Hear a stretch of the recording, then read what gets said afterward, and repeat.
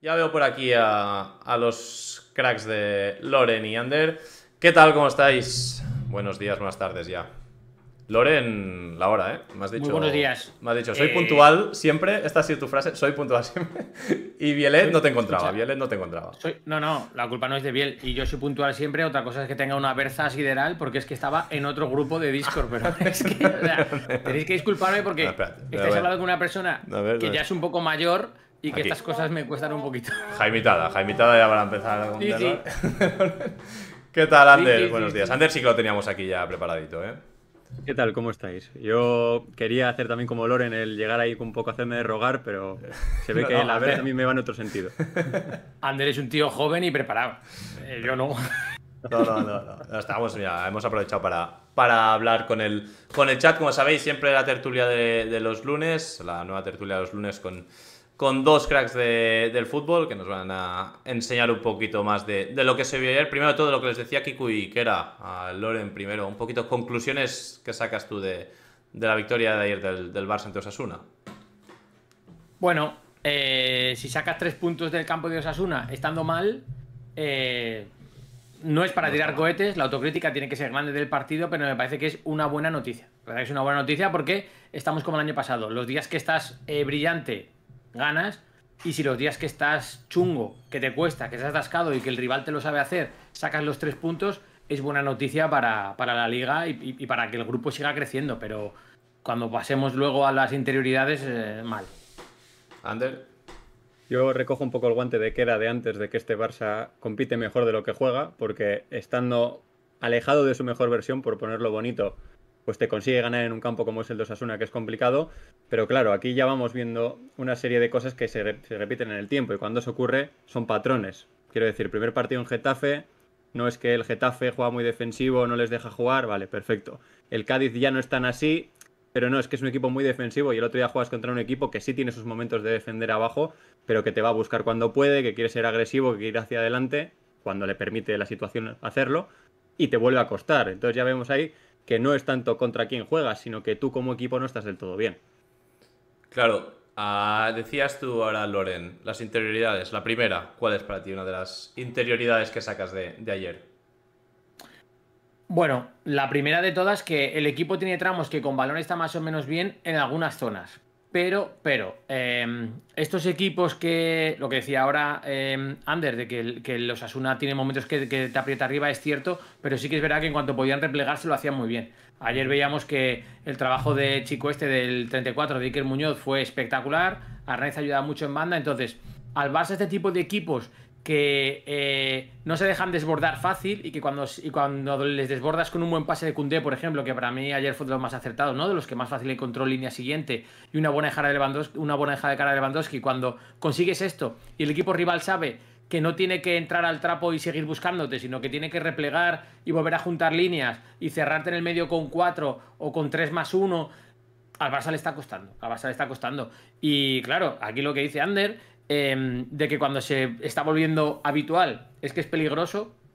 Para mí lo peligroso es que te estás dando cuenta que los equipos ya te tienen cogido el toque y que más o menos todos haciéndote lo mismo te meten las mismas dificultades, ¿no? Vamos a ver, el campo de el Sadar es un campazo, pero es un poco más estrecho de lo que suele ser otros campos. Esto ayuda, como es normal. Es un pelín más corto, esto ayuda. Y el equipo de Yagoba, mientras tuvo piernas, fue una pasada corriendo, ¿no? Entonces, yo la primera teoría mala que veo es que eh, la receta para ponerte en apuros está muy clara ya. Y lo mismo que los rivales la tienen clara, tú ya deberías de tener alguna alternativa un poquillo clara o ver cosas diferentes. Y ayer vimos prácticamente lo de, lo de otros días. Incluso una versión un, poco peor, la verdad. Yo aquí te añado una especie de 1.2 porque es seguir con la línea de lo que ha marcado Loren que es que cuando te plantean este tipo de partido, a mí la sensación que me transmite el Barça es que no tiene la paciencia que sí ha tenido en otros encuentros, sobre todo el año pasado. ¿Por qué hablo de paciencia? Porque, eh, digamos, cómo está estructurado el equipo cuando tiene la pelota, en un primer momento ves que está bien, de hecho en los primeros minutos se generan dos ocasiones que son muy, muy de calidad, que te tendrían que haber servido para marcar el 0-1 y a partir de ahí que el escenario fuera diferente. Las fallas, pero bueno, llegan a través de pues, gente atacando la profundidad, de luego atacando con segunda línea, la que tira Frenkie al palo, pero es que luego, según van pasando los minutos y Osasuna, a través de un buen trabajo, te impide que tú estés cómodo con la pelota, es que empiezas a ver que esa ocupación de espacios no es tan buena. Tienes situaciones de llevar el balón a un lado, tener mucha gente en ese otro lado y cuando el balón llega al lado opuesto, no tienes nadie que sujete por dentro para que el que se recibe el balón fuera tenga ventaja. Entonces, claro, ¿qué pasa con Osasuna? Que encima que te mete en línea de 5, a veces línea de 6, pues te llegan a hacer ese 2 para una banda. Y si tu mejor jugador, entendiendo mejor jugador como el que está más inspirado, como el que tiene más capacidad de crear, que en este caso es la Mal, pues tiene un 2 para 1 constante o casi constante, estás perdiendo ya un elemento muy fuerte que tienes para hacer daño. Y creo que, por lo menos esa fue mi sensación durante el partido, que tanto Gundogan como Gaby como Lewandowski se acaban moviendo porque el balón no les llega y quieren el balón y eso hace que la circulación sea peor y por lo tanto el ataque también peor. ¿A qué crees que, todo lo que ahora ha contado Villander, que estoy de acuerdo con él, Loren, ¿a qué crees que se debe? ¿Más mérito del rival o de mérito del, del Barça? A ver, Ayer hay varias situaciones defensivas que los Asuna las tienen muy claras. Quiero decir, eh, se saben muy de memoria, aquí no tienen que dejar girar bajo ningún concepto, aquí tienes que hacer dos para uno y según qué zonas, y saben perfectamente eh, cuando la tiene, según qué jugador del Barça y en qué posición, dónde de verdad está amenazando ese jugador y dónde te puedes ahorrar la carrera para saltar, o donde en vez de saltar tienes que temporizar defensivamente para que un compañero tuyo tape la línea de pase siguiente. Me explico. Hay algún Dogan le hemos visto recibir en posiciones en las que no debería recibir, incluso alguna vez ha ido de dos. ¿vale? Entonces ahí no sale nadie más a por él, porque son inteligentes y ellos saben que hay un parámetro defensivo que tienen que cumplir.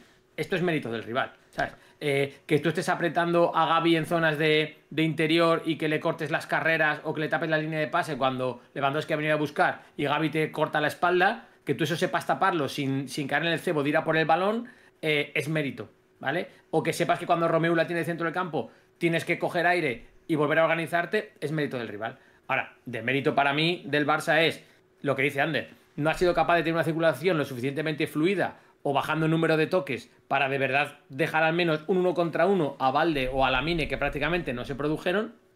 Y por el centro no has tenido eh, la capacidad asociativa, que también es velocidad y es jugar una pared y jugar más a un toque que a dos o a tres, no ha sido capaz de, de, desarbolar a Osasuna, si no podías de manera individual por calidad, de, desarbolar con pases. Y no has tenido esa capacidad por dentro. Entonces yo te diría que mitad y mitad, pero que para mí todo ha ido en la velocidad de, balón sobre todo, porque podrías haber provocado situaciones de uno para uno. Y luego también eh, creo que hay de mérito en que, mm, más allá del mérito de Osasuna de saber tapar líneas de pase o de marcar cuando tocaba, o de cuando el equipo quedaba con un central fuera y ese espacio cubrirlo, creo que también ha faltado atrevimiento a algunos centrocampistas, en alguna vez que te dan un balón de cara, soltar de primeras y jugártela. Me ha parecido que había demasiado.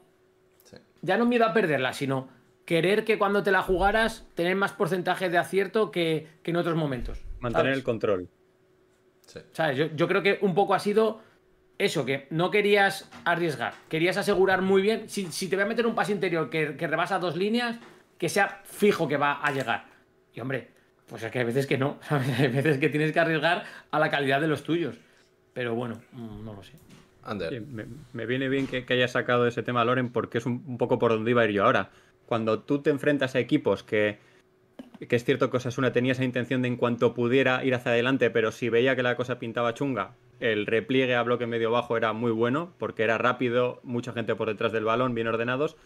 Entonces, si tú te enfrentas a ese tipo de contexto, necesitas. Normalmente la ventaja la vas a tener por fuera, porque el rival no va a querer que juegues por dentro. Pero tú, para poder llegar afuera en situaciones ventajosas, tienes que meter el balón dentro en algún momento. Tienes que conseguir ese juego interior en algún punto para que el balón llegue a los de fuera con una mínima ventaja. Y ayer sí que es cierto que se da esa situación de, de no tener del todo claro cuándo había que meter ese balón dentro. Y a veces priorizar el quiero mantener el control, el sentirme yo seguro, el que no me cojan en transición, igual sigo moviendo el balón de un lado a otro en vez de jugar el balón dentro para juntar al rival y luego llevarlo fuera. Y además yo entiendo que el juego de posición del Barça requiere que una serie de futbolistas estén siempre en una serie de zonas fijando a los rivales. No tiene que ser siempre Gaby donde empezó Gaby ni Gundogan donde empezó Gundogan, sino que vayan dentro de esas posiciones intercambiándose, pero con esos espacios siempre ocupados. Y ayer es que no se daba. Porque si yo quiero generarle la ventaja fuera y lo que hago es mi centrocampista se va hacia la banda con el balón para hacer un 3 para 2, necesito ese que me sujete dentro, porque si no, el rival no tiene ninguna, ninguna amenaza, puede saltar tranquilamente. Creo que todo ese tipo de cosas fallaron y si encima le sumas que cuando había que arriesgar un poco con el balón, notabas que salvo Cundé y alguno más les costaba un poco, pues empiezas a entrar en una especie de bucle en el que no encuentras profundidad, no encuentras situaciones ventajosas y si le centras a Osasuna es un equipo que defiende bien área. Por lo tanto, va a vivir cómodo y tú no vas a generar situaciones más allá de, pues esos primeros minutos que hay esas dos muy claras. Luego es que ayer, Albert, si me dejas un momento, es que ayer encima, por así decir, el centro campo de Barça ha jugado con las cartas marcadas. Es que ayer era sencillo saber qué no había que dejar hacer a cada uno, porque al no estar Pedri, Gundogan o es el que recibe y te gira o toca de primeras, que ayer tuvo varias acciones de tocar de primeras muy bien, además en situaciones complicadas, ya encimado y, sintiendo el cuerpo del defensor detrás, y aún así lo hizo bien. Pero ayer la jugada era, a Romeo le puedes dejar respirar, salvo que se acerque la frontal y, la pega, que sí que tiene que saltar alguien, pero si no había esa situación, ahí el Osasuna podía coger aire. Eh, de Jong tenía que estar en la base como de interior izquierdo para, mediante conducción, generar ese, ese primer hombre suelto que fuera conduciendo y que luego la soltara. Y a Gaby era o tapar en las carreras o alguna vez que cayó también a banda y que se fue de alguno. Ayer Gaby para mí estuvo con balón de los días que mejor le recuerdo en cuanto a nivel individual. Creo que hizo varias acciones de mucho nivel. Pero la jugada era, te hacía falta otro más que tocara bien de primeras que no fuera Gundogan. O te hacía otro, falta otro más que condujera muy bien que no fuera de Jong. ¿Sabes? Porque era como que cada uno tenía una cosa que hacer y los Asuna sabía cómo parar a cada uno, ¿no? Ejemplo, ayer que lo comentaba con Ander por, por Twitter precisamente, cuando llega a la mini Yamal y dentro no fija nadie, vale, la salida es Sergi Roberto. Y la continuidad de jugada que da Sergi Roberto, ¿cuál es? Y Sergi Roberto nunca dobla por fuera. Por eso ayer sale Cancel un rato y resulta que, joder, era peligroso por dentro, era peligroso por fuera porque la ponía, o la pone de exterior. Ayer te hacía falta en el medio campo un cancelo, o sea, un perfil capaz de hacer varias cosas y que decida bien qué es la que toca porque las puede hacer bien, bien de 10 no todas, ¿no? Porque tampoco existe, pero un 8 y medio en cualquiera de las acciones y que lo intente. Y yo creo que ayer es que, lo que te digo, el campo del Barça era demasiado eh, previsible que había que taparle a, cada uno. Porque recordemos, a los Asuna ayer el empate le iba bien. Claro, sí, sí. Que de hecho empezaron a verse algunas costuras cuando el Barça hace el gol. Y ellos tienen que dar un pasito adelante, ¿no? Que sea, también luego hablaremos, si queréis, de lo que es jugar contra este tipo de equipos y la importancia que tiene ponerse por delante. ¿no? Ahora, que decíais el, nombre de, Joao, Ander, a, nivel futbolístico, ¿qué le puede dar Joao Cancelo, Cancelo eh, a este Barça? Yo creo que le da una variante de tener cuatro por dentro sin necesidad de que tengas cuatro centrocampistas de partida, porque tú puedes quizás elegir otra serie de perfiles por dentro, ir realizando combinaciones que quizás antes no te podías permitir, pero que ahora puedes hacer porque Cancelo te da ese factor también por dentro y además creo que te permite que no solo sea el sector, digamos, como tenemos concebido al Barça ahora, es el lado izquierdo, es el lateral que va largo y el lado derecho es ahí con un extremo. Pues ahora la figura de Joao Félix, como le vimos ayer, partiendo de izquierda, y Joao Cancelo, que se puede meter un poco más por dentro, pues te puede servir para hacer lo mismo en el otro lado. Y es un poco lo que ha venido Loren comentando estas semanas, ¿no? Que no sepan los rivales que tu lado fuerte es X y que luego vas a ir por Y, sino que tengas diferentes soluciones para ir, eh, digamos, complicando al rival. Porque al final, si el rival te va a apretar de una manera y tú sacas el balón todo el rato del, mismo modo, lo normal es que te acaben cazando y que salvo inspiración individual o un error, mm, tengas dificultades para superar esa presión. En cambio, si ya, oye, mira, es que primero salen por aquí, pero ahora si juega Cancelo también me pueden ir por ahí, joder ya tienes que plantear la presión de otra manera diferente. Y, ayer, por ejemplo, ya sé que es muy, muy, digamos, muy tramposo quedarse con este tipo de cosas, pero la jugada que da pie a, la ocasión de Frenkie al palo y luego, eh, no sé si es Lewandowski o creo que es Lewandowski que la tira fuera, minuto, estoy hablando minuto nada de partido, nada más empezar. Es una acción que parte de que Cundé se atreve a lanzar un balón en largo porque hay alguien que les tira al equipo, que es Gaby. Y eso luego durante el partido no se da, porque si lo piensas, Lewandowski está en un plan que la prefiere más al pie que al espacio. Ya, eh, Lamin es balón al pie siempre. Eh, Frenkie, balón al pie siempre. Valde está en este plan que siempre está, nunca llega, por lo tanto, balón al pie. Y tienes a Gundo que puede hacer las dos cosas, pero le estás forzando a balón al pie, y el único que te estira es Gaby, que encima, como ha explicado muy bien Loren, el rival detecta cómo frenarle esas, esas arrancadas. Entonces estás primero, eh, digamos, atado de pies y manos porque no tienes esa, esa profundidad, y que luego cuando entra un perfil como el de Joao, pues sí que empiezas a encontrar un poco más. Loren, ¿qué esperas tú de, de Joao Cancelo? A mí, a todo esto que dice Ander, que firmo debajo, eh, solo apostillar una cosa más. Para mí lo bueno que va a tener Joao Cancelo es que eh, es capaz de activar a varios tipos de jugadores cuando él la tiene y de diferentes zonas. O sea, es quiero decir, lo bueno que tiene es que tiene un golpeo en largo muy bueno. O sea, es un golpe No digo que los centrocampistas del Barça no puedan meter un balón de derecha hacia Valde y que el balón le llegue. No, no. Lo que estoy diciendo es que Cancelo le mete de, empeine exterior o de empeine total y el balón no es que llegue, es que rebasa en condiciones de que tú rompas línea con tu control orientado. Eh, quiero decir, eh, entonces, que, el Barça tenga un jugador que tanto desde la banda como desde la zona de interior, si es que está abierto la mine o el extremo que corresponda, una vez que la tenga, el rival tenga que dividir atenciones en todo lo ancho de la línea, esto es mucho mérito. ¿Sabes? Porque cuando la tiene Sergi Roberto, por poner un ejemplo, o Gundogan mismo, sabes que las atenciones las tienes que tener cerquita. ¿Sabes? Dices, no, no, espérate, allí nuestro lateral del lado débil e incluso el central pueden venirse dentro y cerrar y ayudar mucho, porque allí si habilitan nos da tiempo a llegar. Pero ahora, con él, que además lo mismo te lo hace con la izquierda que con la derecha, eh, tienes que tener atención en todas las líneas. Y si, yo, y si yo como central alejado tengo que estar pendiente tanto de que no me sobrepasen por aquí como de que no me meta un balón interior por aquí, pues a lo mejor fallo en la decisión. Y es que muchas veces el no llegar a tapar un centro o el no llegar a anticiparme al defensa, o sea, al, delantero, o a chocarle para interrumpir la carrera, a veces es el no tenerlo claro. O sea, son, son décimas, es la toma de decisión, ¿no? Que es, que es lo que vale al final. Y si yo tengo que estar pendiente a dos o a tres estímulos, pues a lo mejor decido mal. Y es más fácil que decida mal. Yo para mí iba a dar un alto grado de imprevisibilidad en una zona en la que, como decía Ander, eh, la imprevisibilidad ya llega cuando el rival le ha dado tiempo a, posicionarse. Ahora a lo mejor no te da tiempo. Pues yo por explicarlo así, muy, digamos, a grosso modo, modo titular, es que te va a generar ventajas desde una zona en la que antes no podías hacerlo. Claro, es la clave. Porque cuando el balón le llega a ser... Con Cundé es verdad que sí que ganabas un jugador que tenía buen pie, pero no es lo mismo. Y con Seri Roberto no se da. En cambio, tú ahora sabes que cuando le llega el balón a Cancelo en la derecha, sea por dentro, sea por fuera, de su pase pueden pasar cosas que antes no podías imaginar que pasaran por el perfil que tenías ahí. Y entonces yo creo que eso es, vamos, oro, oro puro para un entrenador como Xavi y un equipo como el Barça. Ayer, el pase de exterior que pega, ya no es que sea bonito de ver y que el pase vaya a medir. No, no. El pase exterior ayer es más difícil de defender porque en el perfil que él tiene puesto, el defensa no se espera que vaya a meter un balón allí. Y el central seguramente tampoco. De ahora en adelante lo van a estar. Sí, pero ya están amenazados donde antes estaban tranquilos. Ya están pendientes del balón donde antes podían girarse e identificar su marca y ahora a lo mejor no te da tiempo porque ejecuta más rápido.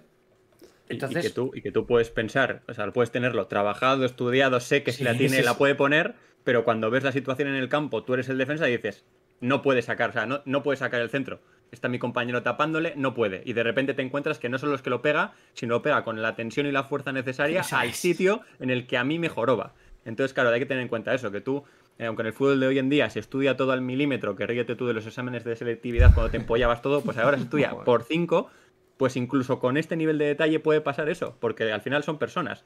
Entonces, imaginémonos que somos nosotros el central.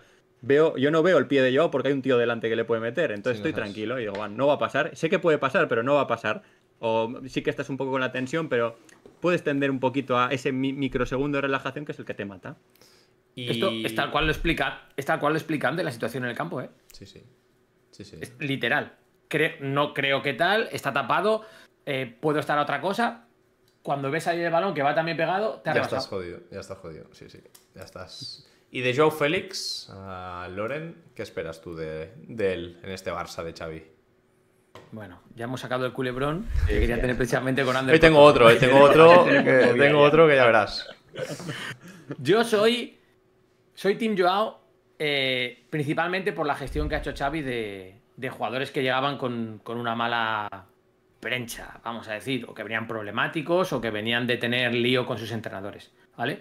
Eh, ya lo he dicho varias veces, yo creo que Xavi a ese nivel es todavía más jugador, es más compañero que entrenador o barra jefe de ellos, ¿sabes? Creo que todavía tiene la sensibilidad del, del futbolista, más que por así decir eh, la mano dura o el pragmatismo del, entrenador. Entonces yo creo, yo creo que ha demostrado que sabe tratar con este tipo de perfiles y como, como creo en esto, la conclusión que saco es el talento de Joao Félix es innegable y yo creo que si empieza a estar a gusto en el campo y a sentirse cómodo, creo que es un chico que tiene mm, muchas, muchas condiciones que, dar al, al, Barça. Y ayer lo dijo Xavi y lo habíamos dicho ya antes y a ver, tampoco es que haya que ser entrenador de ningún nivel. Es que está claro que de 11 o de 9 va a poder jugar. Entonces yo, yo creo que lo que puede aportar es lo primero.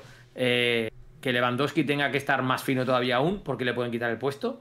Y creo que te da la opción de jugar con dos extremos de inicio, por ejemplo, el Camp Nou, cosas así. Y que si lo sacas del banquillo, del banquillo cuando esté en forma de comprado el equipo, está sacando a un bicho, ¿eh? Se está sacando a un, a un tío que es muy peligroso contra alguien cansado, ¿eh? Conmigo vamos a partir de la base de que no, estoy en una, en, una, atalaya ahí que nadie me mueve. No, no, evidentemente sí. Yo, de hecho, quiero salirme de la atalaya porque a mí, Joao Félix en el Benfica era un jugador que me gustaba. Entonces, a nada que, lo haga bien, me voy a, me voy a ir al, al, team Joao que dice Loren. Así que nadie lo coja esto como una, una opinión que es totalmente inalterable. Vamos a, vamos a decir también que, aunque suene contradictorio, a mí me parece un buen fichaje para el Barça. Porque es un jugador que tiene talento, que lo traes en unas condiciones que, bueno, te puede salir mal, sí, pero por lo que parece ser que va a cobrar el chico, pues oye, yo también me la jugaría. Me parece que te ayuda a cubrir una serie de posiciones que te vienen bien y además te genera competencia interna, que a mí me parece que es algo que estimula muchísimo a las plantillas. ¿Por qué yo no me lo termino de creer o no lo termino de ver?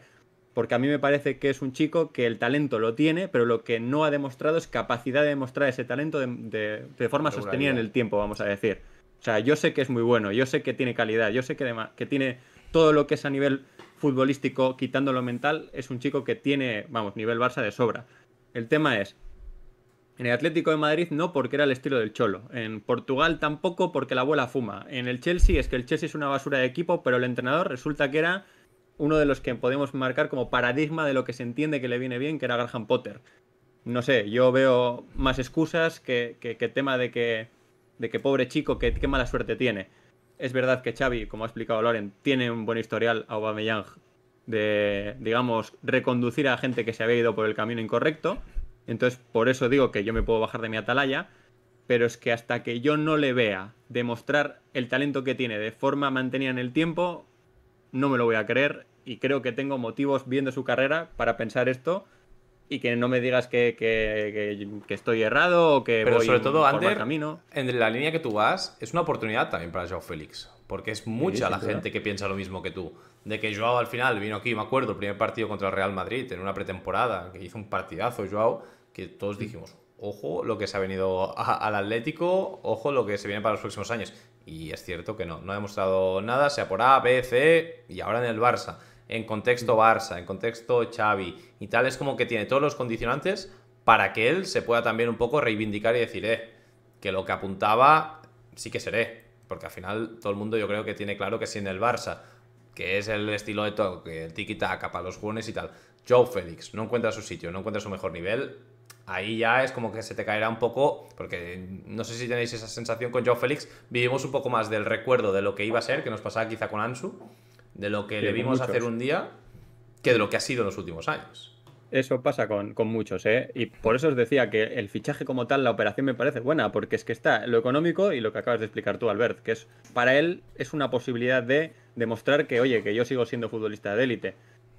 Entonces, por ahí bien, el tema es que, claro, si, si tú ya, o sea, voy a decirlo muy claro, si no, si no sale es porque él no quiere o porque él no es capaz de, o porque, porque digamos que, todo lo que tiene alrededor es propicio para que sí, aquí.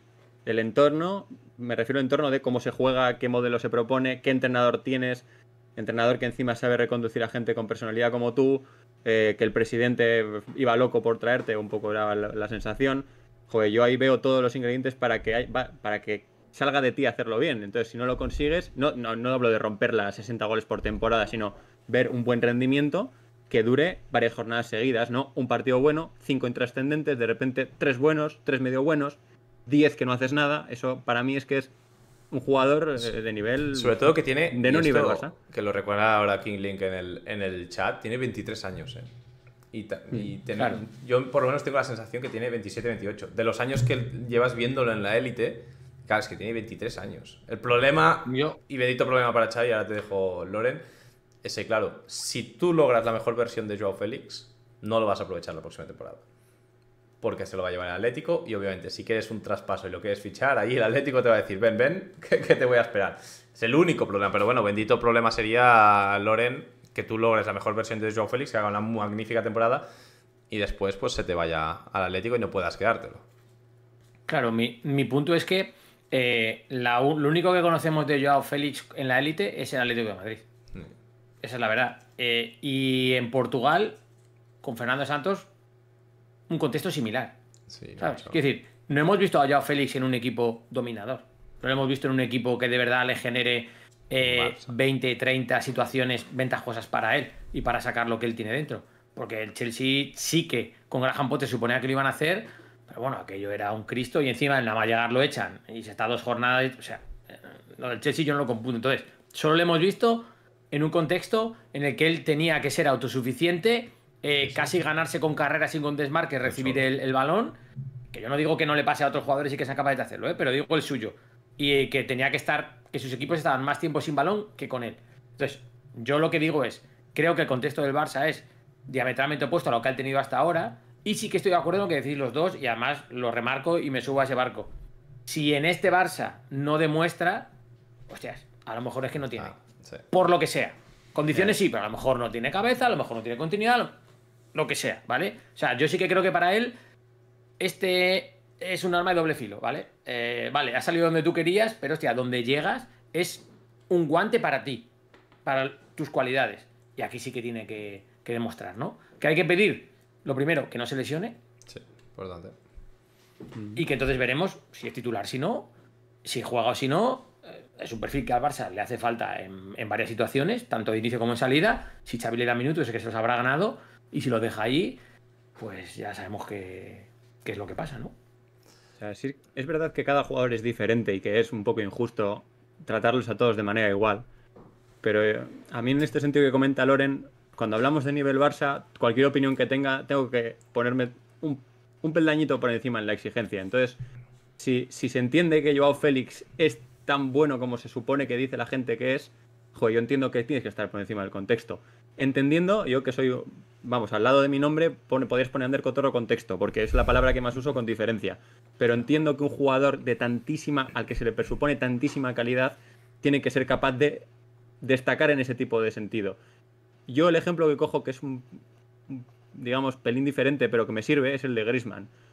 Grisman en la Real era un jugador más currante, pero más fino que otra cosa. Y Atlético de Madrid del Cholo Simeone, que por estilo no tenía nada que ver con la Real. Y el tío se rapa la cabeza, guerrero, guerrero, guerrero, aprende a todo ese, digamos, eh, parte de que no va asociada a la calidad técnica la saca, es capaz de demostrar un nivel incluso superior, crece, porque yo Félix no con el mismo entrenador, el mismo equipo, que ya sé que, insisto, es ultra injusto esto que estoy haciendo, ¿eh? soy consciente. Pero es que a mí es un poco lo que me lleva a pensar, joder, Grisman es bueno porque ha sido capaz de demostrarlo en muchos sitios, menos en el Barça. Pero el Barça ya tiene lo suyo, el tema. Me río porque este chico no. te han añadido aquí la palabra, ya la puedes ver, no sé si estás viendo el... Contexto, está muy bien. claro, pero escucha... El, bien está, está, Lo, digo muy rápido, lo, del Barça fue, tiene 90 de media en el FIFA, vamos a ficharlo. Es que fue eso, porque no tenía ningún tipo de encaje.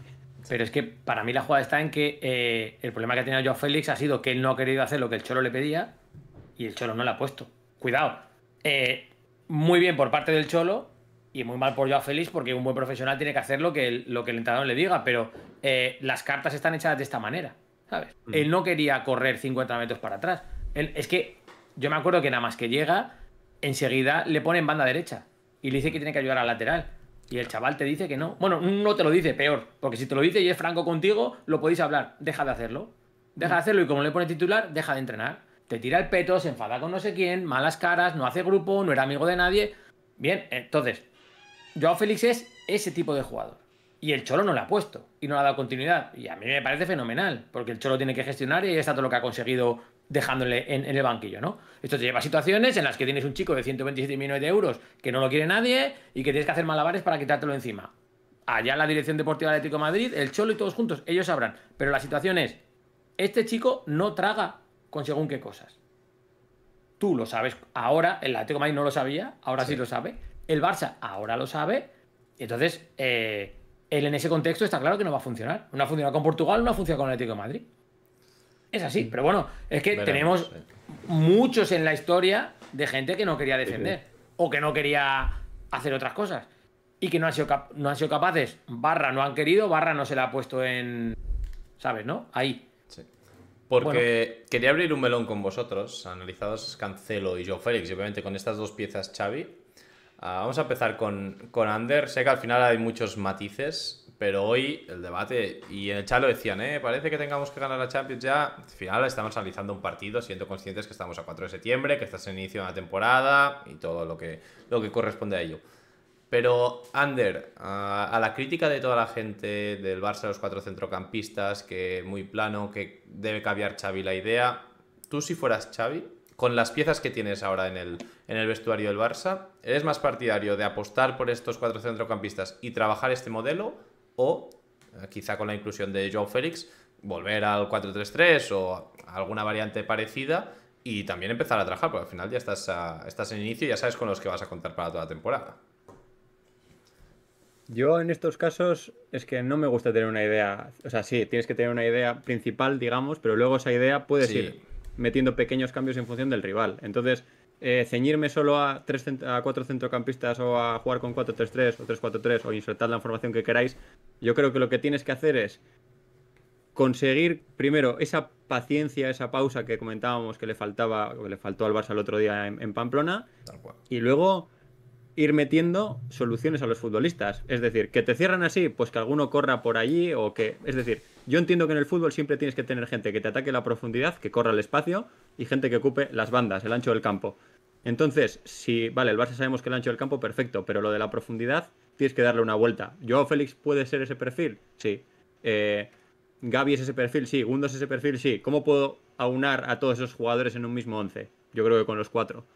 Entonces yo tiraría con la idea de los cuatro, pero dándole una vuelta en el sentido de o bien con la estructura, o bien con el posicionamiento de los jugadores según el momento del partido, o con los roles que le das a cada uno, conseguir que la amplitud y la profundidad siempre estén ocupadas. Y así seguro que vas a dejar de ser plano. Te defiendan en bloque medio, en bloque alto o en bloque bajo. Si tú consigues esas tres, lo tienes bien, lo tienes muy bien, porque además puedes acabar en algún punto acertando, como podéis haber acertado en Pamplona, y el partido ya cambia totalmente, que es lo que ha dejado caer Loren antes. Loren. Creo que el ideal es tener los dos sistemas bien trabajados. Claro. Y creo que el ideal es no ser previsible, ¿no? Eh, pero yo, por añadir una cosa, creo que el ideal es en el que los jugadores estén cómodos. Aquí voy. Y aquí me voy. parece, me parece que ahora mismo, si preguntas a la plantilla, están todos muy de acuerdo con los cuatro centrocampistas. Porque ven que les va bien, porque han ganado la liga, porque se sienten que no les hacen ocasiones y sienten que mm, con más brillantez o menos, pero acabas haciendo goles, más que el rival mínimo uno, ¿no? Entonces, esto que a veces pasa una tontería, que es que dice, oye, pues ahora Xavi que tiene estos dos, que los cambie. Vale, lo primero, esto ya va ya va a decir que alguien que era titular va a dejar de serlo y vamos a ver qué tal nos lo tomamos, que parece que esto es una base de aceite, pero es una base de aceite porque el 11 prácticamente lo sabe de memoria y ahora ya que Joao Félix o Cabacelo sean titulares no nos extrañaría tanto y hay que gestionarlo, hay que gestionarlo. Y lo segundo, eh, cómo se encuentran los jugadores de cómodos, línea defensiva y línea de centro del campo sobre todo, que son los que más van a sufrir si hay uno menos en el centro del campo, ¿no? Salvo que todo vaya orquestado perfecto y entonces todo nos salga muy bien y presentas pérdida, sea una pasada y aquí parece que todos defendemos para adelante. Que algún día se dará. Pero yo creo que es básico el que Xavi sepa detectar cómo están a gusto. Y esto a veces se habla con los jugadores, ¿eh? Igual que se hablan cómo defender las estrategias, como tal, como Pascual, a veces se habla con ellos y como lo veis, o, o no lo hablas directamente, pero detectas sensaciones, mensajes que te mandan, tal, ¿no? Yo creo que si Xavi detecta que el equipo puede estar cómodo con 1-4-3-3, joder, a mí me parece que para días en casa, en el Camp Nou, sobre todo, sería guay. Y ojalá se haga porque a mí me encantaría verlo. Y yo creo que yo Cancelo partiendo de izquierda, pero prácticamente siendo un tío más por dentro, en ese perfil que con la derecha abarca tanto campo y Valde doblándole por fuera, que es algo que yo echo mucho de menos en el Barça, la gente que doble por fuera al poseedor de balón, que es que parece que está prohibido y joder, me gustaría verlo, me parece que va a dar muchas ventajas, ¿sabes? Y, y yo creo que eso puede funcionar muy bien. Pero para que funcione tienen que estar a gusto, los que lo tienen que hacer, ¿eh? Pero la sensación Sí, que da sí. un poco también es que el, el cuarto centrocampista que acostumbra a ser Gaby, yo creo que sería más feliz Gaby dentro que por fuera. Y, al- y la otra que también te, te provoca los cuatro centrocampistas, y lo decíais vosotros antes, es que Valde está, no aparece. Y el Valde Claro. sin aparecer no es tan peligroso, Hmm. ¿no? A mí no me parece un problema de los cuatro centrocampistas eso, como tal. Es Los que perfiles. a mí me parece que la estructura del Barça es demasiado rígida. Aquí voy. ¿Qué quiero decir con rígida? Tú cuando el Barça ves que va a sacar el balón, ya están ordenados en el, en el 3 cuadrado y inserta el número que quieras. Ya están ordenados en eso, ya parten de ahí siempre y todas las jugadas parten de la misma estructura. No tienen una, por decirlo en un término bonito de estos que le gustan a Loren, estructura dinámica. O sea, no tienen, digamos, parten de una manera, de una forma de estar puestos y según va yendo la jugada cambian a otra. Por ejemplo, empiezan con 4 atrás, me lo invento. Juan 4-3-3, empiezan con 4 atrás, los laterales bajos, cerca del área. Empiezan a mover de un lado a otro y cuando detectan que es el momento, pasan, se mete el, un pivote entre el pivote entre centrales, los laterales van altos y los extremos se meten dentro. Joder, ya estás variando la situación, ya le estás generando dudas al rival con eso. Pero si en cambio es cada inicio de cada inicio de juego es la línea de tres, los cuatro en el medio y los tres de arriba, no vas a sorprender. En cambio, si tú empiezas a hacer esa movilidad dentro de se juntan, se van, aparecen, sujetan, fijan a la gente y tal, va a haber un punto en el que tú vas a encontrar espacios por los que o voy a poner a correr a Gaby por dentro, o bien encontrar al de fuera con ventaja, o bien poder lanzar a correr a, a Valde sin que esté, es decir, llegando. Y a mí sí que me parece que a Xavi le tendría que dar una vuelta, porque al final es que siempre ves la misma estructura que es los tres, luego están los dos puntas del rival, detrás de los dos puntas del rival, los dos pivotes del Barça, la línea de cuatro, los dos del cuadrado, el punta y los de las bandas. Y es mover de un lado a otro, mover de un lado a otro hasta que en algún momento podamos meter dentro el balón y normalmente es a una velocidad este inicio de temporada baja. Yo creo que le falta dar ese punto de dinamismo a la estructura que si lo consigue, no solo es que vaya a jugar mucho mejor, sino es que yo creo que la gente va a disfrutar muchísimo más. Es que el Barça intenta tener uno abierto fijo en cada banda, que suele ser extremo Valde, lateral, ¿no? El punta Lewandowski y un interior que casi siempre está haciendo otro más. ¿Para qué? Parece que el Barça está a gusto con la estructura de que tiene fijos a cinco del rival en la línea y luego tres o cuatro en el medio. Y yo creo que está cómodo porque sabe que, que no pierde balón, porque tiene mucha gente por detrás en la que apoyarse si se ven eh, mal. Y yo creo que sobre todo es porque es en la estructura en la que están cómodos si la pierden. ¿Sabes? Creo que están más pendientes de ser reactivo a perderla que en generar una situación en la que eh, seas dañino de verdad al rival. ¿sabes? Creo que están cómodos en decir, mira, si ellos están 5-4-1, 5-3-2, si la perdemos, somos pares y uno libre.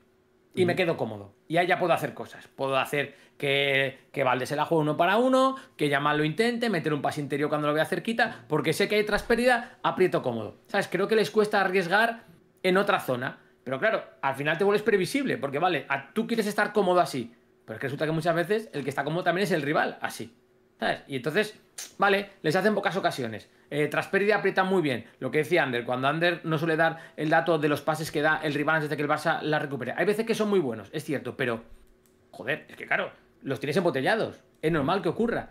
Pero te están empezando a pillar el toque, te defienden muy bien el área, te tapan los pasillos interiores, las conducciones no se las tragan, no saltan a que no corresponde pues es que a lo mejor tienes que variar esa estructura de atacar o al menos variarla cuando estás en zona de inicio, no en zona de finalización, ¿no? Oye, si el rival corre para atrás muy bien todas las veces, pues que corra. Pero yo creo que es un poco eso, creo, creo que es un poco previsible que buscan.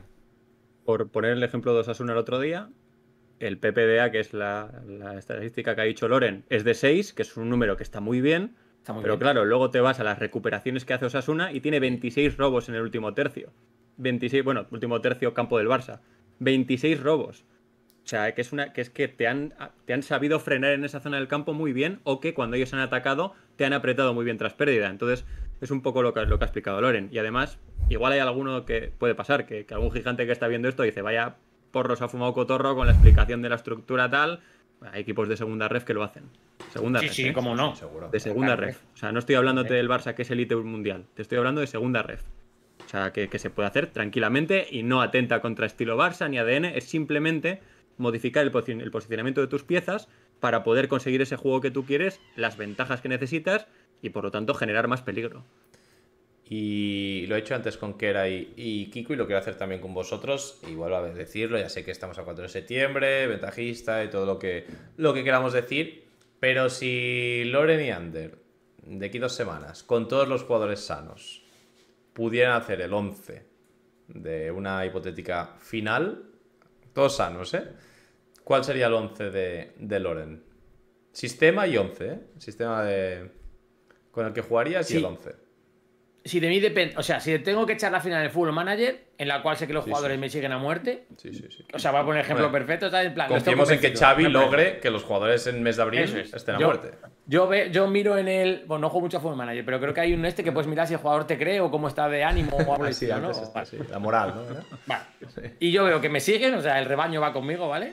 Yo pongo Ter Stegen sin duda, eh, Joao eh, Valde, como es lógico, eh, Araujo derecha con de izquierda, Romeu, Pedri, Gundo, Lamine, Levan y Joao Félix. Ese sería mi favorito. A ver. Claro, es que está si puedo meter la fantasía o no. Sí, sí. Porque ah, yo, he metido, yo he metido toda, ¿eh? Sí, he metido a la mini Joao, ¿eh? Sí. Mi 11, No, mi no, 11 full sería, fantasía yo, ¿eh? el 11 sería casi idéntico al de Loren, pero si me puedo permitir la fantasía máxima es Frenkie por Romeo. Y Gaby dentro. Ah, bueno, también. Gaby Si me dentro. puedo permitir, sí, si me puedo permitir la fantasía máxima es eso. Es sacrificar el equilibrio que me da Romeo por un perfil más alegre, por así decirlo, que es el de Frenkie. Que igual me meten 25 en la final del Fútbol Manager, pues puede ser, pero bueno, la fantasía hemos yo- venido a jugar, ¿no? Creí que venía. me había flipado y aún había un punto más, ¿eh? ¿has? Está muy bien. Sí, sí, porque te ha firmado el tuyo y te ha añadido. Está muy quitado, bien. Me ha dicho, dice, sí, sí, no eres tan ofensivo, ¿eh?